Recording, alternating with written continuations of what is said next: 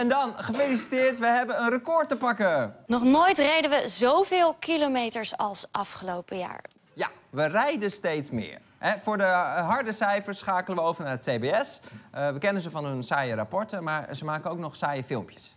In 2017 legden we met onze motorvoertuigen ongeveer 148 miljard kilometer af. En dat is gelijk aan 500 keer naar de zon en terug. Ja, als je heel goed kijkt, dan zie je de cameraman zitten. Dat is wel wat slordig, hè? Dat haalt je toch een beetje uit het sprookje. Ik zeg nooit laten zien hoe je tv maakt. Dat doe ik ook niet. Iets hoger, Ponken. Ja, ja.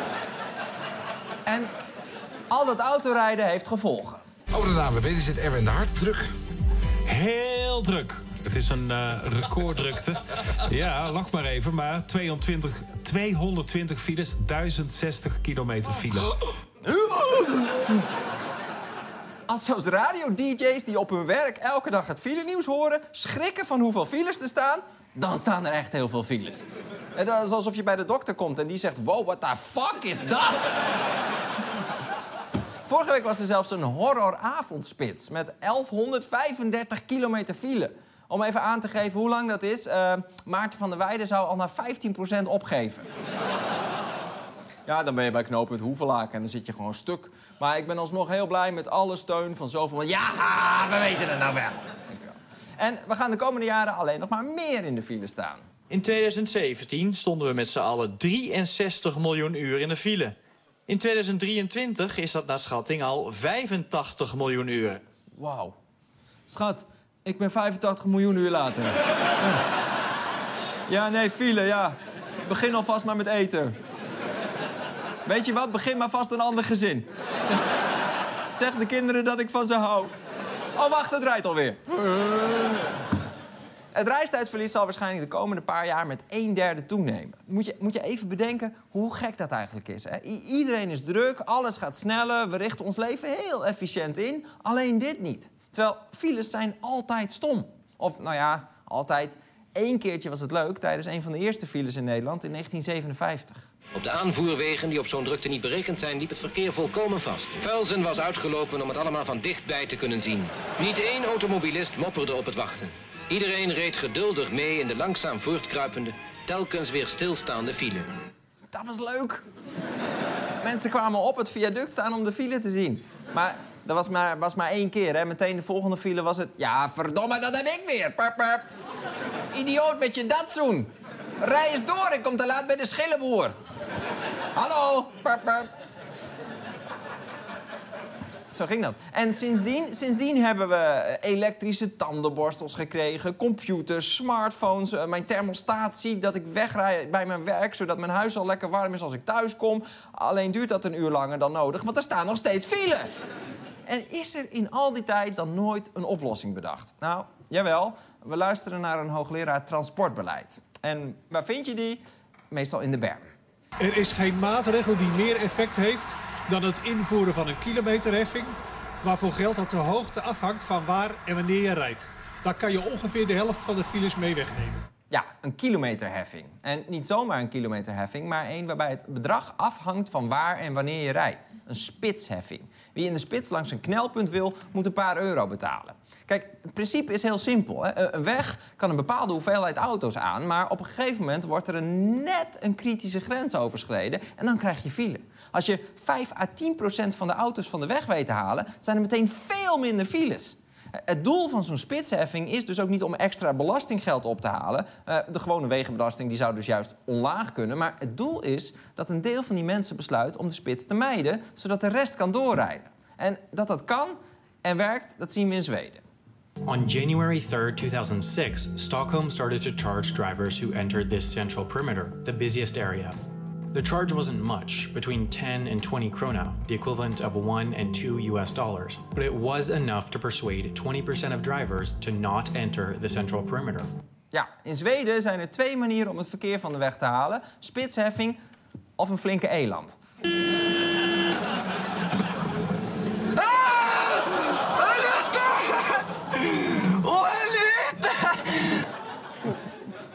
Prachtig. En niet alleen in Stockholm, ook in Londen, Singapore en een paar Noorse steden werkt het als een gek. Een nadeel is dat sommige mensen geen keuze hebben. Die moeten om half negen op hun werk zijn. Maar een groot deel van de ochtend- en avondspits is helemaal geen woon-werkverkeer.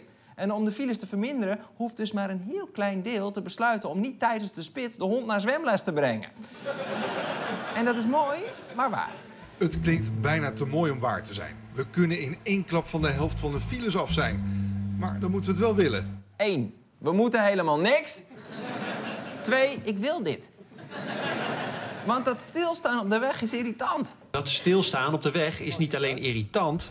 probleem nou, hou daar maar over op. Ja, Het kost het transportbedrijf elke dag weer veel geld. laten we eens praten over twee uur gemiddeld dat we stilstaan. Ja, dan praat je over twee uur per man. Dat is ongeveer 60 euro, inclusief vakantiegeld.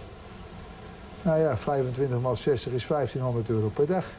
Wauw, die man heeft in de file krankzinnig goed leren hoofdrekenen. maar wat hij zegt klopt. Hè. Verkeersoponthoud kost de Nederlandse economie elk jaar 2,3 miljard euro. Je zou dus kunnen denken, eh, zo snel mogelijk invoeren die spitsheffing, minder files klaar. Iedereen wil dat. Nou ja, helaas niet iedereen. Deze meneer niet. En de VVD en dus de regering is falikant tegen die spitsheffing. Wat ik raar vind, want je zou denken... de VVD is tegen files, hè, want het is echt een autopartij. Eh, Ik noem ze wel eens de Vroempartij. Sorry, een beetje flauw natuurlijk. Volgend punt is natuurlijk de auto. Wij blijven natuurlijk de auto de Vroempartij en terecht. Oké, oké, ja, toch. Ja. De Vroempartij dus. Die zijn echt heel, heel, heel erg voor auto's. Die noemen alles wat de autobezitter ook maar een beetje raakt... meteen automobilistje pesten. Hier, dit staat op hun site. Via accijnzen en boetes zijn het de automobilisten die vele andere potjes van de overheid spekken. Wij willen dat daar een einde aan komt. Wacht even. Een eind aan boetes?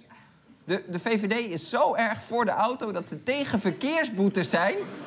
Meneer, u reed 260 km per uur op een woonerf. Heel goed, lekker bezig. Lekker bezig. Ondernemer of niet? Nice. Ja, mooi ook. Mooi die hanger voor uw jasje achter op uw stoel. Prachtig. Nou, vroom, vroom, dag. En juist die partij die, die is tegen het enige middel dat echt werkt tegen files. En ze willen er zelfs niet eens over praten. Hier eh, ook op vvd.nl. Eh, wij waren, zijn en blijven tegen de kilometerheffing. Uit onderzoek blijkt dat het helemaal niet werkt. Er staat verder niet bij uit welk onderzoek dat dan blijkt. Waarschijnlijk was dat... Jan Willem! Rekening rijden werkt er niet, toch? Eh, ik zit even te kakken, maar ik denk het niet. Akkoord, ik zet hem online. Dus de VVD wil dus absoluut geen rekening rijden. Geen spitsheffing, geen kilometerheffing. En ik, ik snap het ook wel, want die woorden zijn ook gewoon niet lekker. Hè? Heffing, rekening. En, en daarom moeten we het aantrekkelijker maken. VVD-proof. En de duidelijk maken dat je betaalt voor iets prettigs. Eh, voor tijdwinst. Dus iets van doorrijdoekoe of scheurbonus. Of, of nee, laten we het gewoon vroempoen noemen. Vroempoen. Vroem, vroem. Ja, precies. En eh, om de een of andere reden wil de VVD dus geen vroempoen om de files op te lossen. Maar wat willen ze dan wel? Om files te bestrijden blijft de overheid de komende jaren rijstroken en nieuwe wegen aanleggen. Van 2018 tot 2030 trekt de overheid 19 miljard euro uit. Ja, de VVD wil meer asfalt, wat heel veel geld kost. Terwijl volgens de Bern-professor een spitsheffing veel beter werkt. De afgelopen jaren is er al 700 kilometer aan wegen bijgekomen. En toch is het aantal files alleen maar toegenomen. Dat komt doordat er meer auto's op de weg zijn, maar dat komt ook weer deels doordat er meer asfalt ligt. Eh, deze eh, hoogleraar ruimtelijke economie legt uit hoe dat zit. En eh, hij heeft er kijk op, want ook hij staat naast een snelweg. Meer asfalt, daarvan weten we dat het elk geval tijdelijk werkt. We weten ook dat het op de langere termijn weer extra vraag aantrekt. Het is dus geen oplossing op lange termijn. Nee. Nee, het is een korte termijn oplossing. Net als eh, je Labrador uit het raam flikkeren. Voordeel, hij is eindelijk stil. Nadeel, je beste vriend is dood. Meer asfalt is geen lange termijn oplossing. Want zodra de files weg zijn, wordt de snelweg weer een optie voor mensen die de spits vermeden. En na een tijdje is de file gewoon weer net zo lang, alleen iets breder. Waarom is de VVD zo tegen Vroempoen? Nou, eh, luister naar VVD-Kamerlid Annemarie Jorritsma in 1990. En eh, zoals gebruikelijk in de jaren 90 wordt zij geïnterviewd door een toekan. Rekening rijden. Wat zijn jullie eh, punten dus? Wat, wat vind je ervan? Nou, we vinden het rekeningrijden eh, zo ingewikkeld worden. De techniek is eh buitengewoon ingewikkeld. Is er overigens ook nog helemaal niet. Eh, de kosten zijn gigantisch. eh, en ik denk dat de kosten nog wat te optimistisch worden ingeschat. 300, eh, 360 360 miljoen. Wauw. Wat een belachelijk goed geïnformeerde toekan. En dit was 1990, toen, toen was er tenminste nog discussie mogelijk met de VVD over Vroenpoen. Tegenwoordig knallen ze het gewoon elke vier jaar in het regeerakkoord dat ze het niet willen. Eh, Hier, dit staat in het regeerakkoord van Rutte 3. Ze willen experimenteren met vervoer en betaling zonder dat dit leidt tot een systeem van rekeningrijden. Rutte 2, er komt geen kilometerheffing. En het regeerakkoord van Rutte 1, er komt geen kilometerheffing. Dat is slim hoor. Ik, ik schrijf ook elke dag altijd even op wat ik allemaal niet ga doen. Dat is, heel- morgen staat bijvoorbeeld weer het niet opruimen van mijn schuurtje op het programma. Dat doe ik elke maandag niet, is een beetje traditie geworden. De VVD die is dus al jaren tegen. En ook hun FAVO-coalitievriendje CDA is tegen elke vorm van vroenpoen. Ik kan je zeggen, als rekeningrijden weer wordt ingevoerd... dan wordt Nederland heel erg boos. Want je gaat dan betaald in de file staan. Hé, hey, Buma. Slim bedacht, joh. Chapeau. Chapeau. Maar het idee is juist dat je door rekeningrijden minder in de file staat. Het CDA snapt niet dat rekeningrijden een maatregel is om files tegen te gaan. In de file staan vinden we allemaal vervelend. De ergste straf die je iemand kunt geven is 50 minuten extra in de auto zitten. En denken we nou echt dat als je die mensen naast de 50 minuten extra ook nog eens 5 euro meer laat betalen, dat ze dan wel de auto laten staan? Wat is dat voor redenering? Het regent, wil je een paraplu? Ja, dag. Dan word ik nat en dan moet ik ook nog zo'n heel ding meetillen. Doei.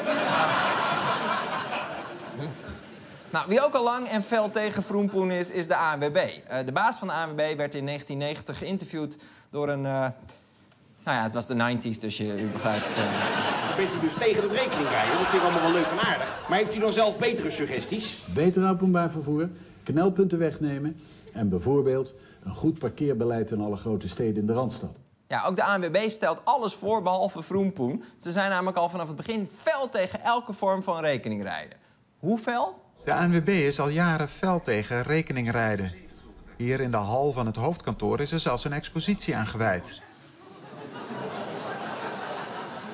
Een expositie over dat ze er tegen zijn? Ja, dat doe ik ook altijd. Ja. Schat, ga je mee naar mijn ouders? Nee, daar heb ik echt geen zin in. Waarom niet? Nou, loop even mee naar mijn expositie. Kijk, hier zien we jouw vader. En, behalve de VVD, het CDA en de ANWB is er nog een grote vroempoenhater, de Telegraaf. Dat is al heel lang dé grote woordvoerder van het verzet. En zodra er ook maar iets van rekeningrijden, kilometerheffing, spitsheffing... of binnenkort hopelijk dus vroempoen wordt geroepen... dan begint de Telegraaf een uitgebreide campagne. Onder aanvoering van de Telegraaf krijgt de kilometerheffing vooral het imago van melkkoe van de automobilist. Ja, het enige wat de Telegraaf nog erger vindt dan roetveegpieten is kilometerheffing. Eh, Als de Telegraaf zou mogen kiezen tussen rekeningrijden... of dat Sinterklaas vanaf nu wordt gespeeld door Sylvana Simons... dan zeggen ze, houdt ze dan wel gewoon een baard? Nee, nee, oké. Nee, prima hoor, maar geen rekeningrijden! En Vroempoen is dé oplossing voor het groeiende fileprobleem. Maar VVD, eh, het CDA en de Telegraaf blokkeren de boel als een Zweedse eland. En, en nu zeg je, Arjen, is het technisch eigenlijk wel haalbaar? Nou, dan heb ik goed nieuws. Eh, in Brabant hadden ze dat in 2009 al opgelost. Brabantse bedrijven laten nu alvast zien dat het technisch gezien kan. En wij willen in ieder geval hier ook als regio laten zien dat er wel politieke besluitvorming eh, moet komen, maar dat het technisch gezien bijna alles wat de Kamer zou willen op het gebied van privacy en eh, op het gebied van tarieven, alles is eigenlijk mogelijk. Precies, haar moeten we hebben. Is te gek? Wie is dit? En vooral, wat doet ze nu? Cora van Nieuwenhuizen is hier de nieuwe minister van Infrastructuur en Waterstaat. Ze is nu minister van Verkeer! Godzijdank. Nou, vertel Cora, technisch kan het, dat zei je negen jaar geleden al. Wanneer gaan we rekening rijden? Het gaat niet gebeuren. We gaan geen uh, rekeningrijden invoeren. Cora! Wat is er met je gebeurd? Zelfs Rick Nieman, die, die is van WNL, zelfs hij breekt bij zoveel onredelijkheid. Alle experts zeggen, er is één ding wat je kunt doen. De Telegraaf vindt het niet leuk, maar er is één ding wat je kunt doen. Namelijk, maak gewoon rijden in de spits duurder en mensen zullen het minder gaan doen. Maar u wilt daar toch niet aan, hè? Nee, dat is het bekende rekeningrijden woord. Ik durf het rustig uit te spreken. Ja, maar is het echt Eh, geen optie, want het helpt, zeggen de experts. Nou, nee, want ik vind dat geen goede manier. Maar alle experts zeggen dat het helpt, Cora. Alsjeblieft. En ik ben nog wel van WNL. Ik was ooit de anker van RTL. Kom op, Cora, please. Nee, vroempoen is geen automobilistje pesten. Files laten bestaan, dat is automobilistje pesten. Tuurlijk, eh, eh, rekening rijden kost geld. Maar in de file staan kost tijd. En tijd is geld.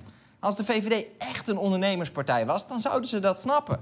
Maar toch heeft de VVD dus in het regeerakkoord dichtgetimmerd... dat alles tot in lengte van dagen muurvast blijft staan... met volledige goedkeuring van die andere filevriendjes van het CDA en de Telegraaf. En daarom hebben wij gevraagd aan alle grote radiozenders of zij ons willen helpen. Dan horen de mensen die in de file staan waarom ze daar staan.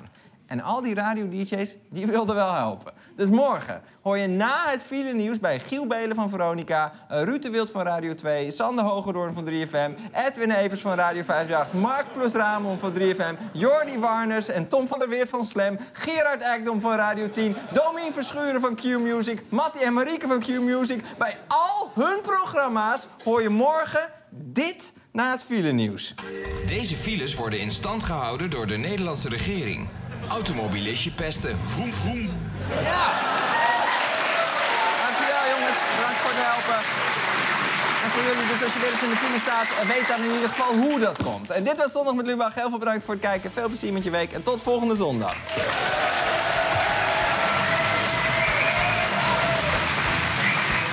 Heb je pijn in je buik van het lachen? Abonneer je dan op dit kanaal. Heb je pijn in je buik om een andere reden? Ga dan naar de dokter.